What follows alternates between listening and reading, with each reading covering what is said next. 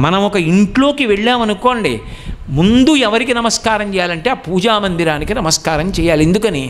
ఆ ఇంటి లోపలికి వెళ్ళి ఆ ఇంట ఆతిథ్యం అందుకుని ఆ ఇంట పడుకుని ఆ ఇంటికి ఎందుకు వెళ్ళావో ఆ కార్యాన్ని నిర్వర్తించగలిగినటువంటి అనుగ్రహం ఆ ఇంటి సింహాసనంలో ఉన్న స్వామి నుండి నీకు కలగాలి. అందుకే ఒక్కొక్కరు వచ్చినప్పుడు ఒక్కొక్కటి ప్రధానం. ఇంటికి పరమ భాగవతోత్తములు వచ్చారనుకోండి వెంటనే ఏం చేస్తారంటే లోపలికి తీసుకెళ్ళరు.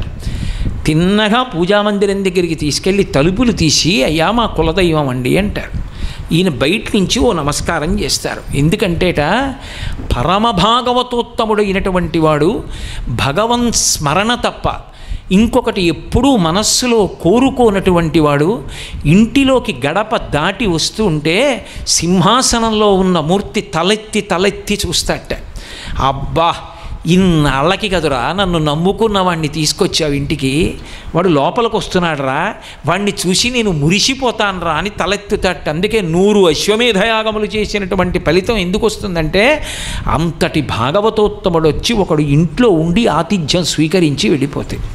ఊరకరారు మహాత్ములు వా రథముల ఇండ్ల కడకు వచ్చుటలెల్లన్ కారణము మంగళములకు.